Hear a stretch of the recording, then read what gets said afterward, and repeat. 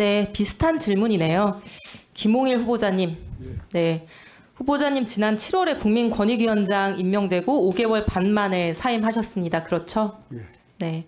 조금 가까이 대, 대주세요. 예, 지난 정무위 국정감사에서 후보자가 권익위원장으로서 하셨던 말씀 기억하십니까? 슬라이드 보여주시죠. 이 공직을 마지막으로 생각한다. 은인 자중하고 근신하면서 잘하겠다. 이렇게 말씀하셨습니다. 그렇죠. 예, 근데 역대 가장 재임 기간이 짧은 초단기 위원장이 되셨습니다. 산업부 장관인 박문규 씨는 임명된 지 3개월 만에 국회의원이 되겠다고 장관직을 내려놓고 후보자는 6개월 만에 전혀 관련도 없는 방통위원장을 하시겠다고 본인이 임명받아 수행하던 직무를 버리고 지금 이 자리에 와 계신 겁니다. 국가기관장을 이렇게 깃털처럼 가볍게 여겨도 되는 것이냐? 국민 앞에서 잘하겠다고 약속했던 것은 허언이었던 것이냐? 보수 언론에서조차 이런 행태를 비판하고 있는 상황입니다.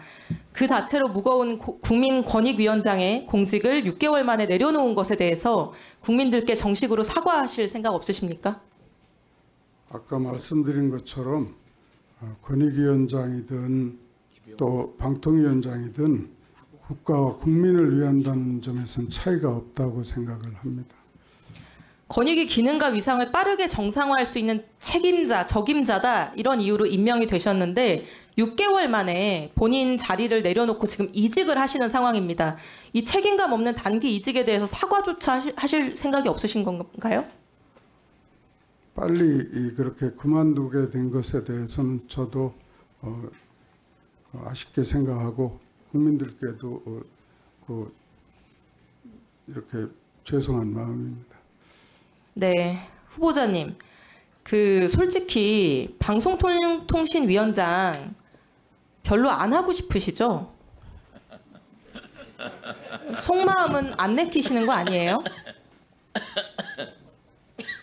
그렇지 솔직히. 않습니다. 그렇지 않습니다. 네. 저라면은 정말로 피하고 싶을 것 같아요.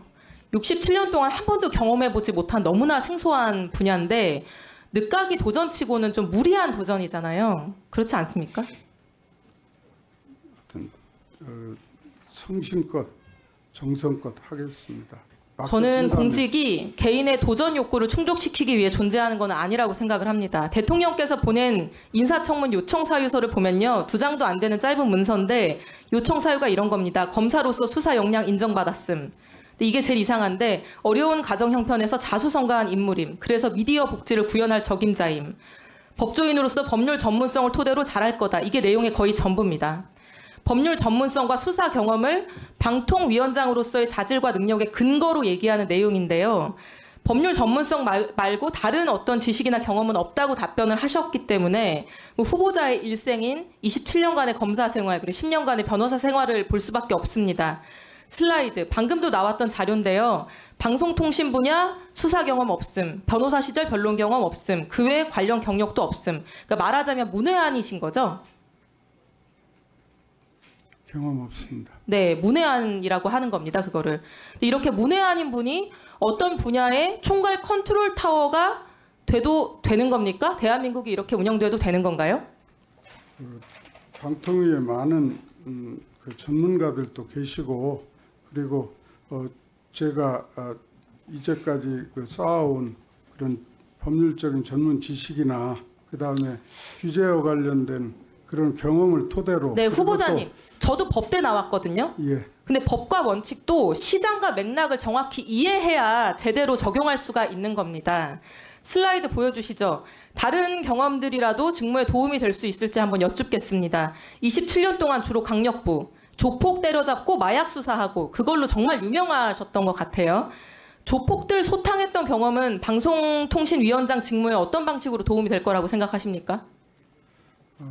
수사야말로 가장 음, 그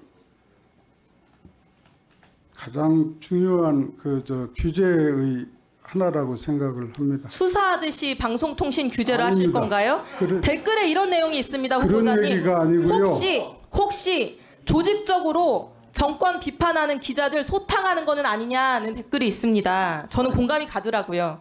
그 이후 10년간 변호사 생활하실 때 국내 형사, 형사팀에 계셨던데 형사사건 변호하셨을 거고 주로 기업 오너들 변호 맡으셨겠죠. 세종 형사팀 변호사 경험은 방송통신위원장 직무에 어떤 방식으로 도움이 되겠습니까?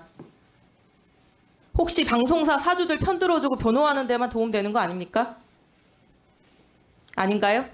그렇지 않습니다. 네, 윤석열 정권 두둔하고 옹호하던 보수 언론들 일제히 맹폭하고 있습니다. 슬라이드 보여주시죠.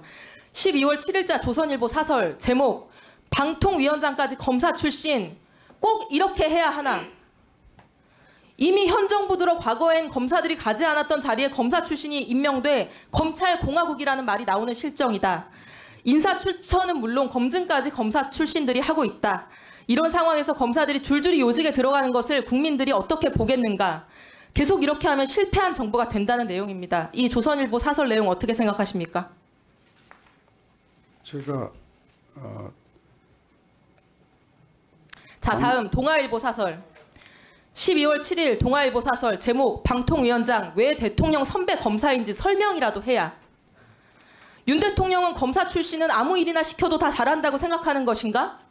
과거 검사 출신이 가본 적이 없는 자리에 줄줄이 앉혀 검찰 공화국을 만든다는 비판에도 아랑곳 없이 다시 검사 출신을 방통위원장에 지명했다. 김 후보자의 경우에 고- 권익위원장 앉은 지 반년도 안 됐다. 검사 출신의 중형마저도 폭이 넓지 못하고 측근들만 돌려쓰고 있는 게 아닌가? 동아일보 사설입니다. 후보자님 이 정부의 인사가 대통령의 검찰 측근들 돌려쓰기 인사라는 이 사설 내용 인정하십니까? 저에게 맡겨진다면 제가 최선을 다해서 어, 성실히 그리- 그리고 훌륭하게 수행을 후보자님 최선 다하라고. 있는 공직이 아닙니다. 다음 문화일보, 중앙일보 다 읽기 어려울 정도인데요. 이 보수 언론들 사설에 공통적으로 등장하는 단어가 바로 검찰 공화국입니다. 야당이 쓰던 단어인데 지금 이제 보수 진영까지 쓰고 있어요. 저는 이렇게 묻고 싶습니다. 후보자 지명함으로써 대통령은 보수 진영에서도 고립되고 있어요. 그럼 지명 제안을 받았어도 겸손하게 자중하면서 사양을 했어야 하는 거 아닙니까? 앞으로 열심히 잘 하겠습니다. 지금이라도 과욕, 과욕을 거두셔야 한다고 부탁드립니다. 자, 수고하셨습니다.